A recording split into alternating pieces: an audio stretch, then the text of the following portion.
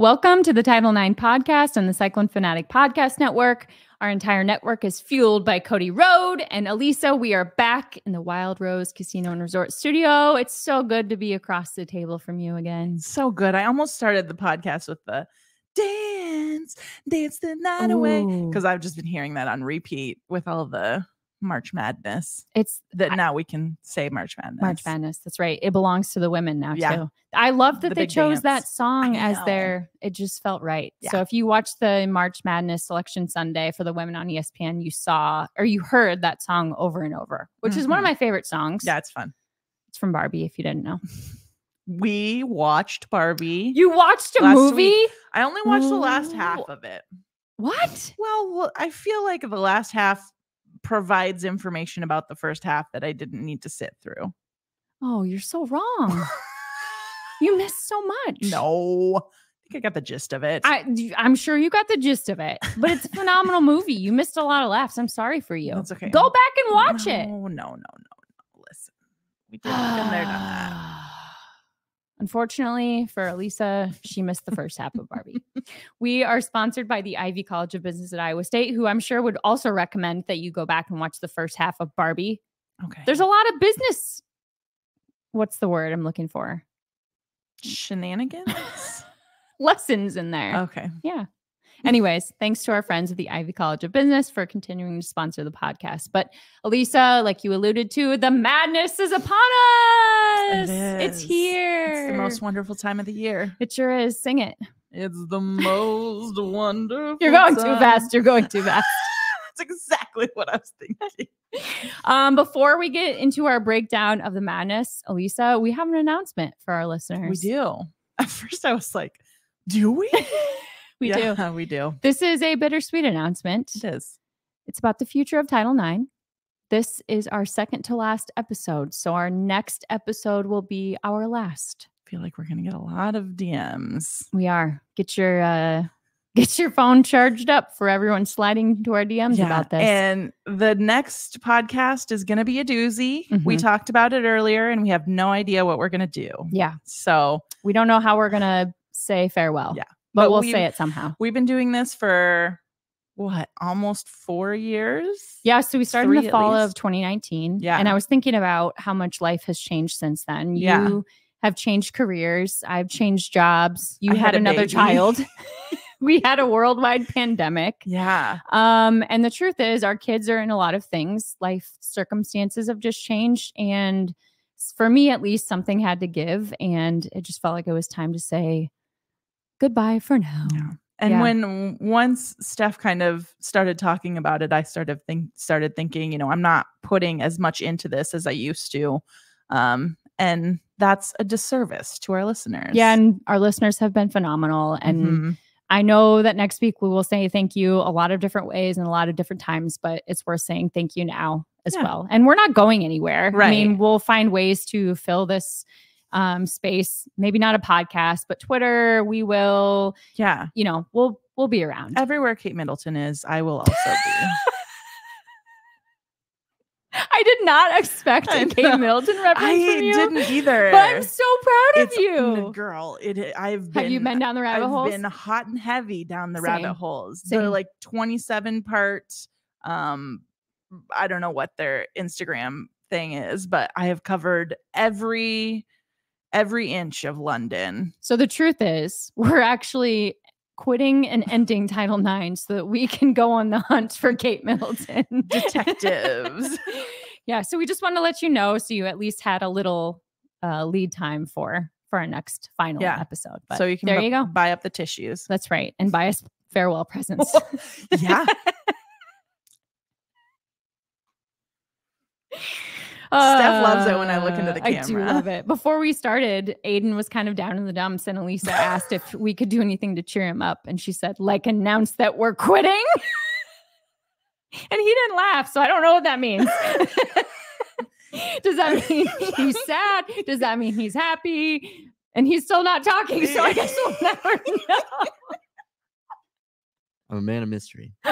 That's for darn sure. Mm. That's for darn sure. He's in his mysterious era. he and I Kate like that you're using the word. I know. now. I'm I've I found out it was a Taylor Swift thing, right? Yeah, you're right. So I'm I'm like I'm gonna You're try in and it. use it. okay, well, we're glad. I'm in my era era. You're in your era. yeah. All right, let's get to it. March Madness. Let's start with the Iowa State women. What do you think? Oh, I think Seven seed take on ten seed Yes. Maryland in, Yes. at Stanford, um, and in- I in Stanford, California. Yes. And I handicap uh, the the NCAA tournament very similarly to the way that I handicap um horse racing, which surprisingly Just like everybody, right, surprisingly as one does. I do.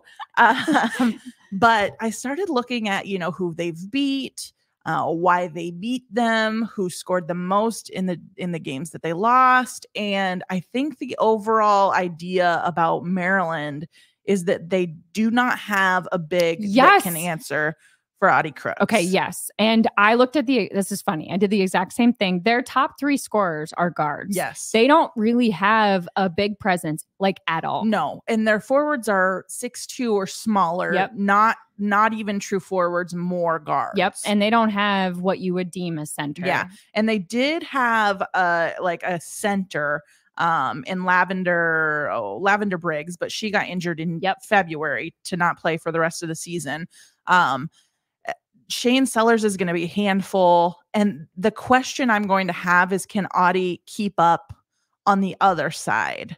Yeah, we know she can dom she has the ability to dominate on offense. Can she keep up on defense?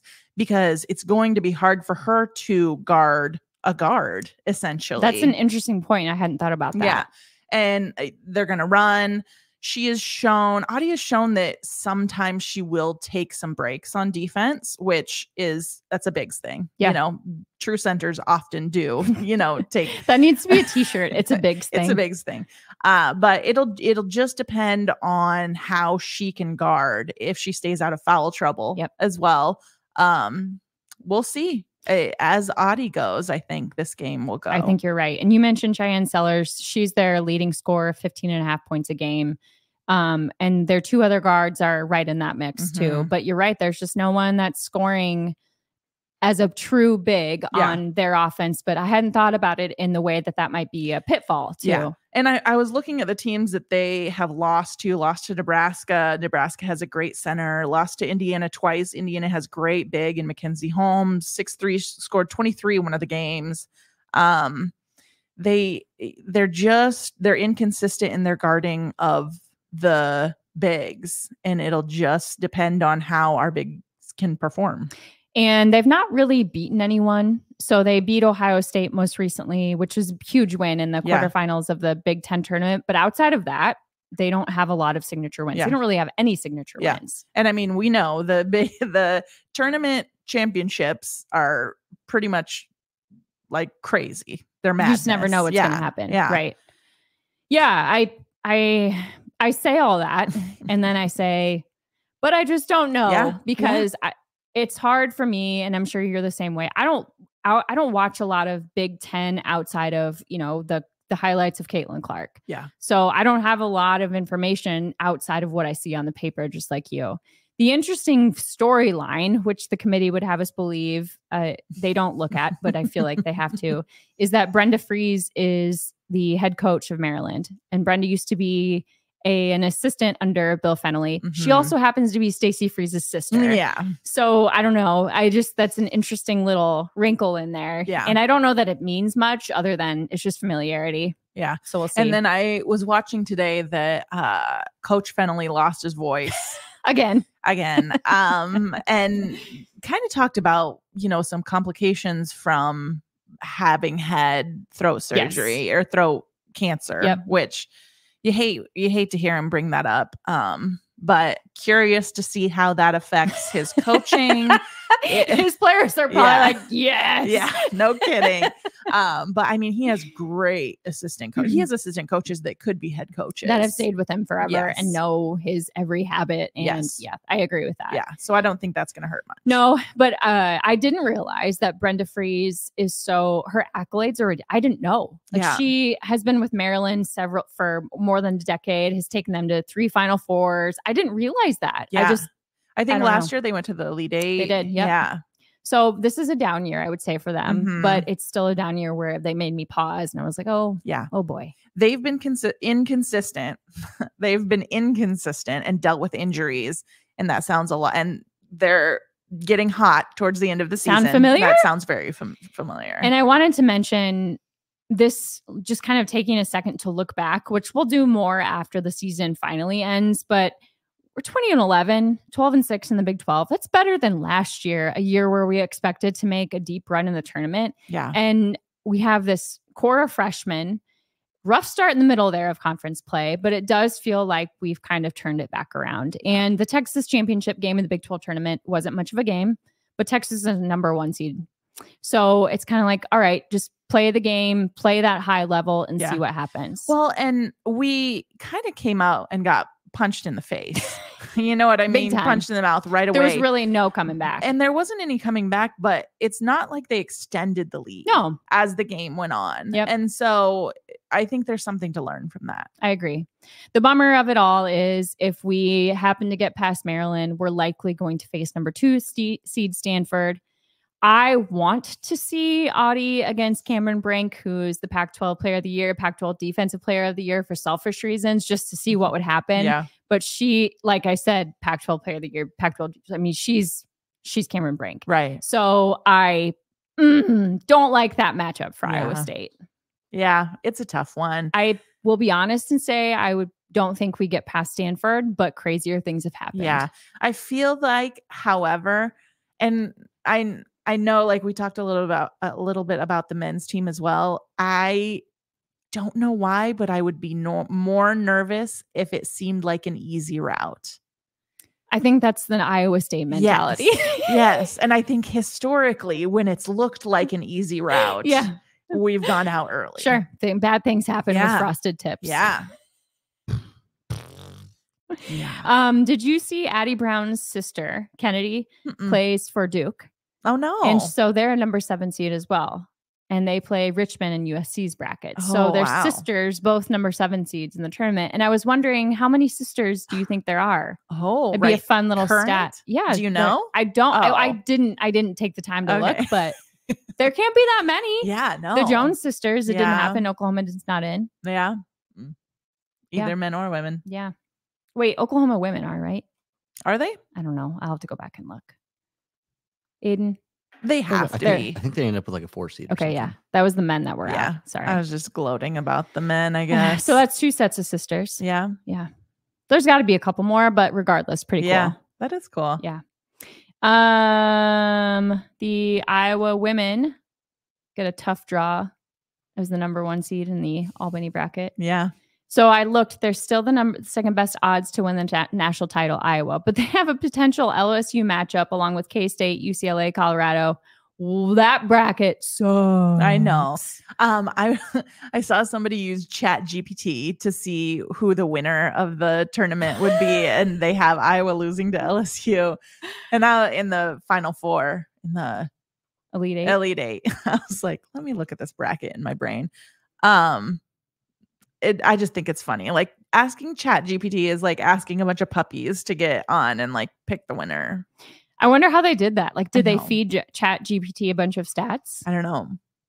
I just I think Chat GPT is so funny. It's funny and it's also creepy as hell. Yeah, yeah. I um, that's a tough bracket, and we'll see what happens. It's going to create some madness and some fun storylines. But if I'm an Iowa fan, I'm not very happy with that Yeah. one. Yeah, Um, did you watch the selection show play I out? did. How fun were the reaction videos? so good. A couple were very delayed, and a couple I was like, "Are you doing this on like a BlackBerry?" like, jeez, Louise. Yeah, there was one where they were like at a bar. I was like, "I love this." Um, did you see Columbia? yes. Okay, so the Columbia Lions, which Yeah. I didn't know they were the Lions until earlier this morning when I Yeah. looked it up. First time in school history they play in the Ivy League. Um, th- their reaction video is fantastic, but if you pay attention, there's this one guy. I don't know if he's a coach or a manager. He falls off of his chair and just like Yeah. reaches into the sky. yeah. Like, Thank God. and it's just one of those like this is why we enjoy this so Yeah. much. It was really cool. Those were good ones. They were really good. Um, a couple other women's basketball notes. Attendance in the women's basketball conference tournaments was insane this year. The Big Ten had more than 100,000 um, total in attendance, so actually physically at the tournament. It was the first ever sellout. ACC, SEC had more than 60,000 apiece for the most most ever attendance for both those conferences. And the Big 12 had more than 22,000, which was the most since 2013. So this is actually my winner for the night. Yeah, women's basketball in general. The get-in cost for the final four for the women is higher than the men. Is it really? Almost a hundred dollars higher than the men. Now keep in mind that the venue is smaller, much smaller. So demand is going to be higher. Sure. Uh, almost every women NCAA conference tournament set attendance records. Uh, Fox reported that their average viewer for a women's NCAA basketball game was 981,000 and for men's was 946,000. Hey. And then this goes a little away from NCAA, but uh, there's a bid for a 14th WNBA team, and that would be in Toronto. And we've been talking about how badly Can- Canada, Canada, Canada, Canada. Canada, how badly Canada wants a women's basketball Yeah. team. And Bridget Carleton has been really vocal about that. Yeah. So that would be amazing. Yeah, so women's basketball was my winner. and did you week. see? I know, I know the Caitlin Clark effect, but that was the most watched conference tournament game ever in history. Right. Almost 3 million view- viewers on average, and it peaked at four and a half million viewers in overhead. Right. Like, those are insane numbers. And I get the Caitlin Clark effect, but also she didn't play in all of the conference championship. exactly games. Right i mean I, and i only say that because i know people will come Right. at me but the point you're exactly right. Right. like this is not caitlin clark is a part of this yet but she doesn't play in the big 12 the acc or the sec right, Yeah. right. It's Yeah, it's- across the board. Like there are big names in women's basketball in a year where there are not big names in men's. And Yeah. last year there weren't big names in men's. And I'm, uh, what's the big name coming in? There, there isn't. I mean, Bronny James, we thought was going to be a big name, and then you know he had his his health issue and has not is not the best player on their team. You know, it's tough. Yeah. They just don't have they don't have the star appeal. and it's fun to see these networks capitalizing on it i don't know if you saw today espn plus launched uh, their trailer for full court press it's a docu-series that they're following caitlin clark cardoso for uh, south carolina and kiki rice for ucla and it's coming in may and i just think it's going to be really fun to w- i can't think of another example where we get that kind of access in women's sports Do you think women have more personality than men? in general or Yeah. in s- Y- yes Yeah. Case closed. That's that's it. I'm ex- I'm so excited to watch it. Like, I, I, just like I think back to the arguments about NIL and I'm just like, you guys look silly now. Yeah. Because women can capitalize. Yep. Let me tell you, when when somebody when attention is at stake, women can capitalize. it's yeah, it's brilliant. Yeah. Um. Also, I just looked. Oklahoma is a five seed. They play Mm. Florida Gulf Coast, and um. Yeah. So we have Aubrey and yeah. um. Yeah, that's another sister duo. yeah. I forgot the Big 12 coach of the year. Quick question for you guys. Womp womp. What? Uh, since this was the first year that the women played before the men, instead of them being The like Big on 12, top of each yeah. other, and the, uh, yeah, in the Big Twelve, how did you think that went? I thought the fan support was great. I shouldn't have been surprised that Iowa State fans would go down there for that week. Um, but I was concerned that people would choose the men, particularly because of the youth of this women's basketball team this year. Mhm. But I feel like Iowa State fans showed up. Yeah. I don't know. I need to go back to look at, well, but I feel like the fact that it's the most attended since 2013 suggests that it was a good thing yeah. right? I mean, that's what the numbers I mean, say. it suggests that it was a good thing, but I don't think it's in a in a bubble, you know? It's the sport it's as a team- whole. Yeah. That could be. Yeah. yeah. Yeah. So I guess in if you're looking at the numbers, then it's a good thing. Yeah. And I think too, with that attendance number, you could look at it fell on the week of spring break, True. Yeah. and you played it. I mean, let's see, it was was it Friday, Saturday, Sunday, Monday, Tuesday? Yes. Or Thursday. One of So those. it's- Yeah. yeah, Fell right. on the weekend. Right. So I mean, that certainly helps too. yeah, but absolutely. Yeah, I think um it was one of the things we were really nervous about last year, and maybe we shouldn't have been. I think I wonder if there's an there's enough Iowa State fans to go around. Yeah. You know what I mean? yeah. Like we say, oh, will people go for both?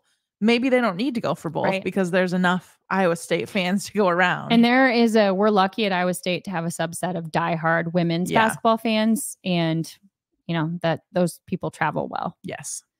Um, do you have any more women's basketball notes? No, I don't. Okay. Um, I think we should talk about the opening weekend at the NWSL and the opening weekend of CPKC Stadium. I do. I want to hear all about it. You were oh, there. I was there. It was amazing. Uh, I had it built up in my head. So this is the first we've said it a gazillion times. The first purpose-built stadium for a women's professional sports team. I had this moment built up in my head so high, and it lived up to every expectation I had. And the coolest part about it was that um, Patrick Mahomes and Brittany Mahomes are two of the four owners of the team. Mhm. Patrick's there. And there's all of these, there's four main lines to get into the stadium that had been building for a couple hours. Patrick shows up. No one gets out of their line to go see Patrick. They just stay. And it was this moment of there's arguably the biggest sports star of the world. And these people don't, they care, but they don't care enough to go see him. Yeah. Like he was not the star of that moment. The Yeah. star of the moment was this historic moment. Yeah. And it was just perfect that way. How are your seats? They're great. I love it. Yeah. I, I looked at the stadium and I don't know that there is a bad seat. No, it's a very it's interesting. From the you drive into Kansas City, it's right on the river. Mhm. It's right on the entrance to the city.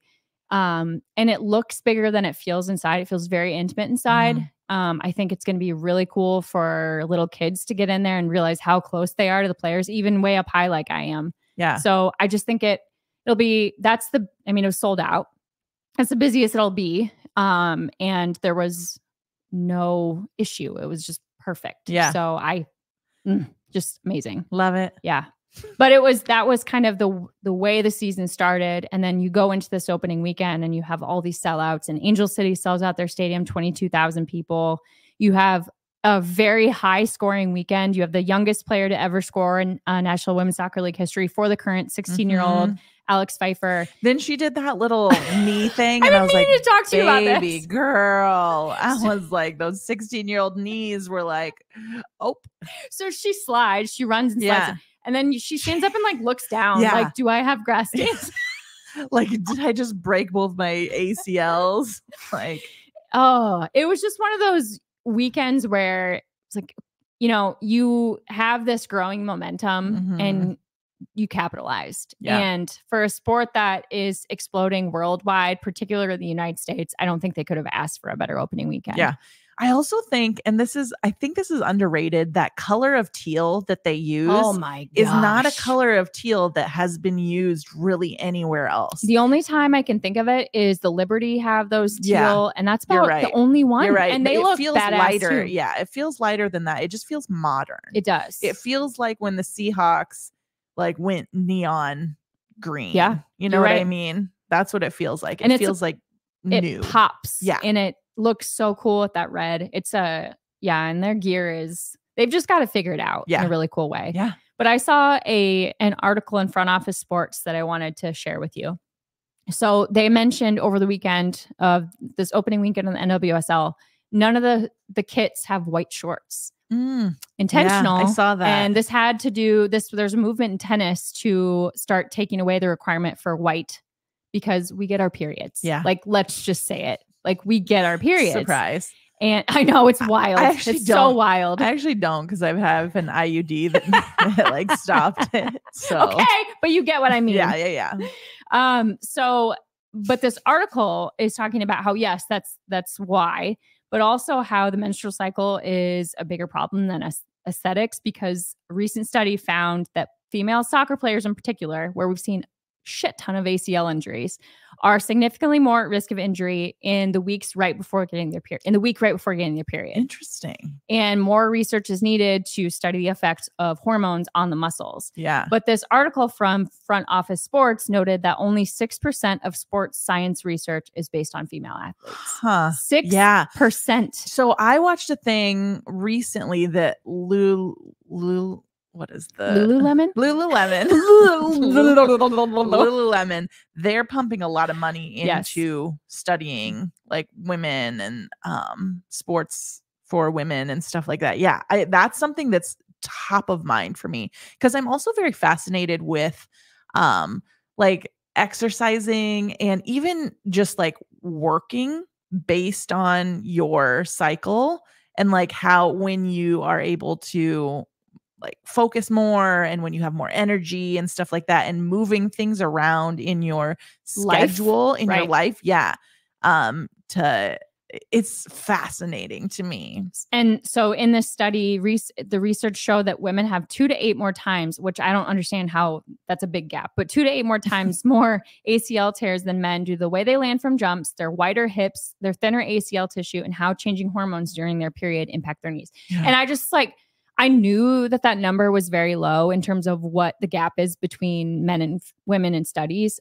I Mhm. didn't expect it to be 6%, yeah but also it was the first time I thought about how have we never studied this? yeah but also I'm not surprised. yeah Yeah. So anyway, I just thought it was incredibly yeah that kind of stuff is very fascinating Yeah. And I'm sure that as women's sports continue to grow in popularity, those study well, at least I hope those stu- that gap yeah continues to lessen. And this is the type of thing that I studied when I went to Iowa State. Like my degree is in sport management and kinesiology. Like you eh, should go back and do I it. know Career change. yeah. And I just I look back at the studies that we did and I wonder I don't know. I wonder what it could have looked like had we been studying more women. And the you know what's weird is the ACL tears have really vamped up in the last I don't know decade. Yeah. And that's happened as more females have continued to play. So, like at some point, you can't ignore it Yeah. anymore. Yeah. At least you hope.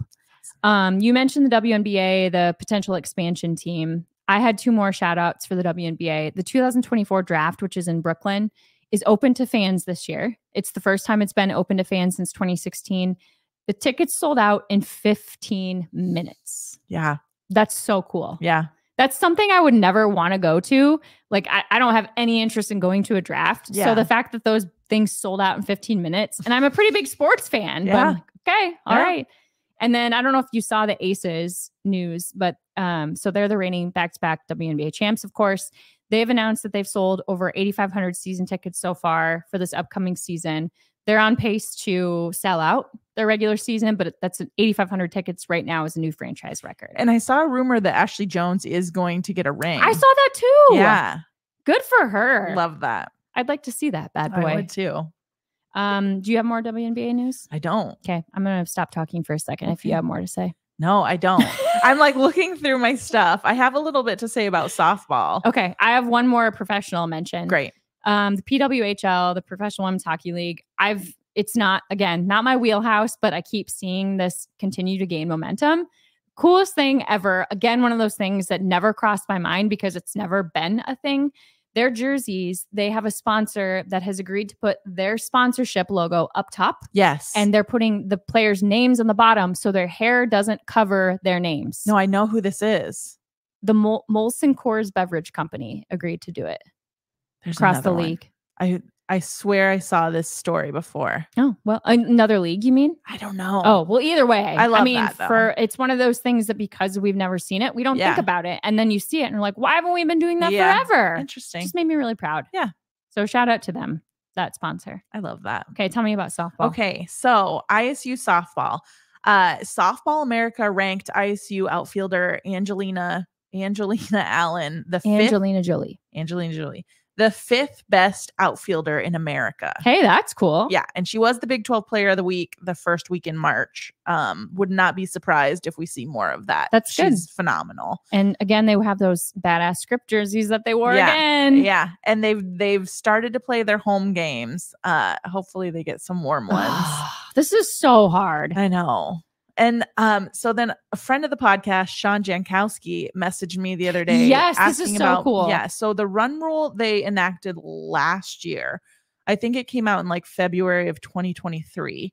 Um, but so there's a run rule where if you are up by eight runs after five innings, the ump can call it. Okay, this was not the thing I thought you were going to Oh, say. okay. Sorry, go yeah, ahead. So uh, so the home team gets the chance, you know, if the visiting team is up, they get the chance. So the least you could play is four and a half Got it. innings.